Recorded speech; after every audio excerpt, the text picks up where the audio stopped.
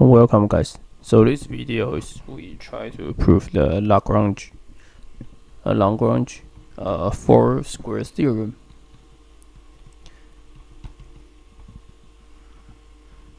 Okay, so okay, so basically it seems it says that uh, for every integer, a positive integer,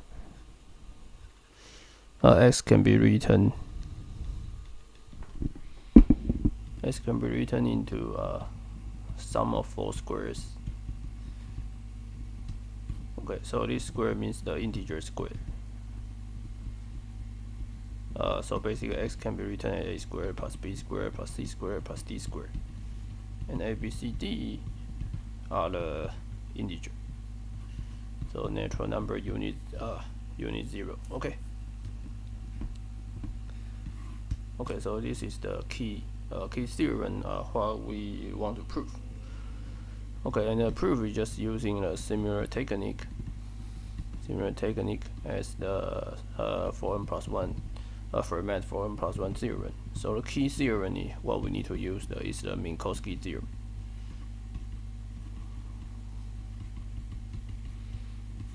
Okay, so let me uh, let me try to uh, tell you about the Minkowski theorem and I already uh, tell uh, I already uh, give the introduction in the previous lecture. Okay, but but now let me record it. Okay, so basically basically so every time uh, one, once you have a set in Rn and the L is a lattice in Rn. Okay, so you can calculate the determinant of the lattice. Okay, so so if this first A is symmetric, if A is symmetric, the second is that the the volume of A is larger than determinant L times 2 to the n. Then A intersection L, uh, which is non-zero. Okay, so I should say that uh, I should say that A contains a non-zero uh, point in L. So L is just the linear expansion of some uh, uh, integer li linear expansion of some basis base vector base vector. Okay, so this is the theorem. Uh, I will not prove here, but uh, you can go to. Uh, I will give the proof in the other other videos. Okay, we also need a lemma. So I also will not prove the lemma here. So lemma said that uh, for every prime p, uh,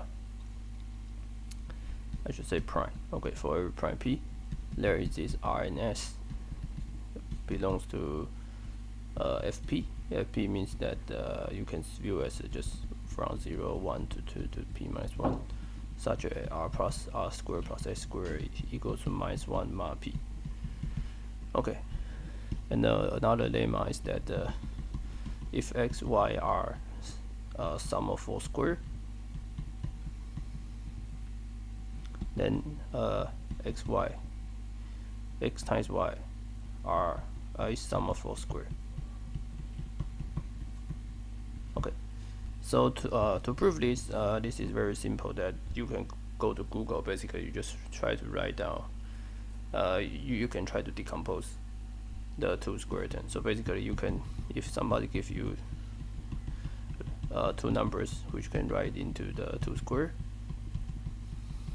uh, you can decompose it with, with another 4 square.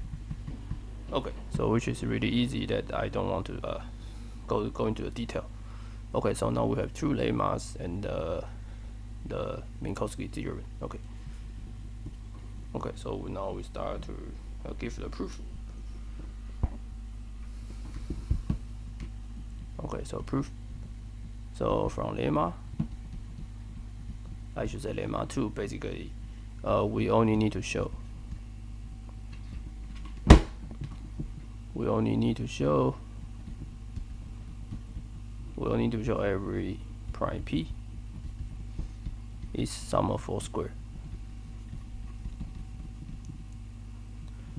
Okay so this is the key point that we only need to show that the every prime p is sum of four square. Then if we can show this then every number can be decomposed into distinct uh, can be decomposed into primes. So each prime is sum of four squares. So their product also uh, sum of four squares.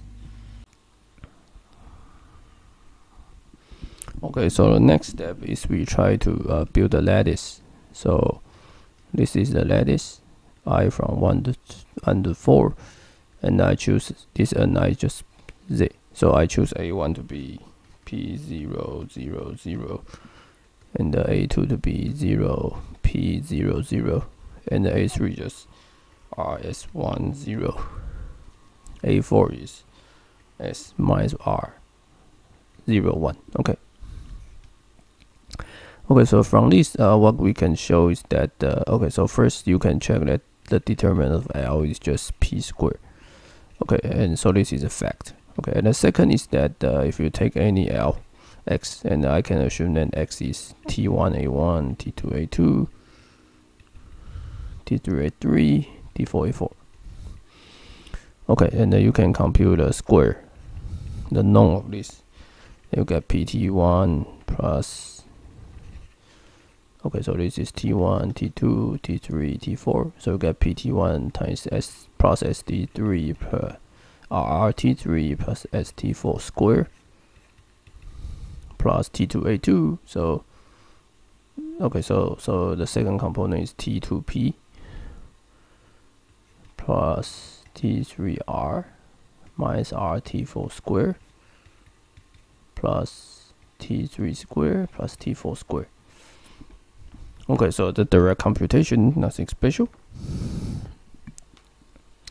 Okay, but the but important thing is that uh, you can, if you write down a square and you mark p, then you will only get the r square, t3 square plus s square, t4 square, plus t1 square plus t4 square.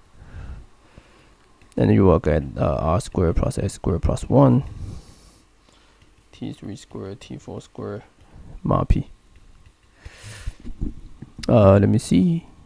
This is r square, sd square, square. Oh, okay. So you, uh, I missed one.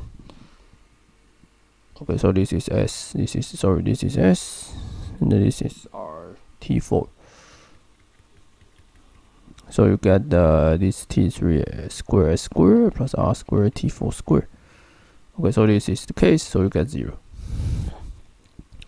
Okay, so the okay, so the final part is construct a Minkowski set A. So construct A, just the ball with radius square root of two two p at zero zero zero zero zero zero. The next is just compute its volume. So the first thing is A is symmetric and the second is A is convex. Okay, so volume A, A in four-dimensional sphere is just this. Okay, you you guys can see my other videos. I give a show proof. So this is 2 pi squared p squared larger than 16 p to the fourth, uh, p to the cube. So this is 2 to the 4 times the determinant of lattice. So this which tell you that the volume of A, which tell you that A contains some non-zero points. So A contains some points, some non-zero points in L. So, uh, but since uh, suppose x1, x2, x3, x4 uh, lies in A, then you have this, right? Because this is non-zero and also less than the radius sphere, but also x1 plus x2 xq3 x4 is 0 mod p in L.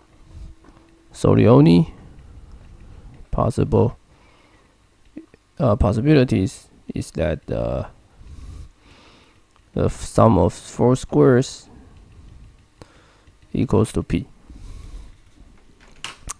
Okay, so now we have constructed, uh, we have finished the Fermat enough from Lagrange four squares theorem.